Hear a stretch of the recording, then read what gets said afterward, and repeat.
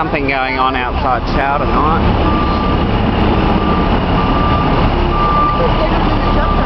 This is big, man. This is bigger than the bomb press.